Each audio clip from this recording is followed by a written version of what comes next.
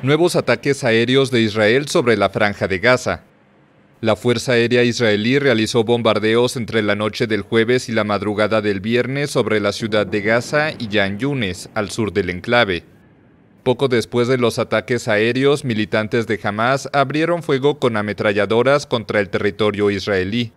Se trata de la segunda serie de ataques esta semana luego de que el miércoles la Fuerza Armada israelí lanzara una primera ola aérea en represalia por globos incendiarios enviados por militantes palestinos.